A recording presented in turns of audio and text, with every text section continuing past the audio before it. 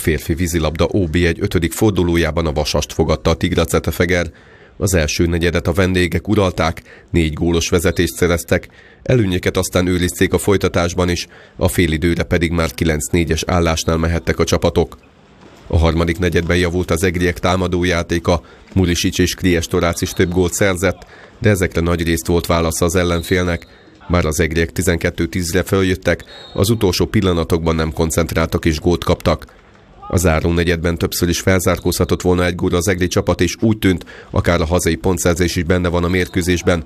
A rutinos vendégek azonban, ha csak egy góllal is, de 15-14-re győzni tudtak.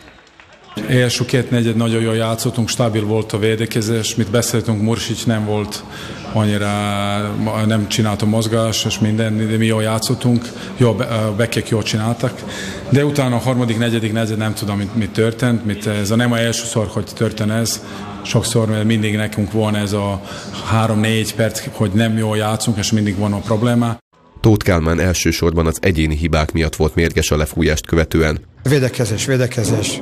Sajnos mérkőzésre, mérkőzésre alá, alul teljesítünk az egyéni küzdelmekben, tehát a páros küzdelmekben. Hm, ez nem tetszik. Próbálok rajta változtatni. Most fel fogom emelni a hangomat, hogy működjem.